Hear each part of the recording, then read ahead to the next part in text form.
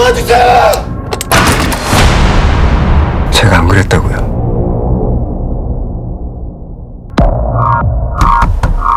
양신의 변호사입니다. 진실을 말해요. 내가 도와줄게요. 두 달 전이었어요. 어쩔 수 없었잖아. 왜 먼저 신고 안 했어요? 어떻게 이런 성공인데 한순간에 망쳐버릴까봐 두려웠어요.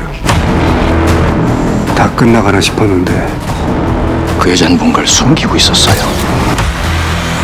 당신도 마찬가지고 이제 모든 카드가 나왔네요. 두 개의 사건, 두 개의 시신. 이건 범죄야. 나 혼자는 안 죽어. 절대로. 절 범인으로 만들려고 다 꾸몄어요. 이민호 씨 진술은 설득력이 없어요. 이보다 확실한 게 어딨어요? 창의력이 있어야죠.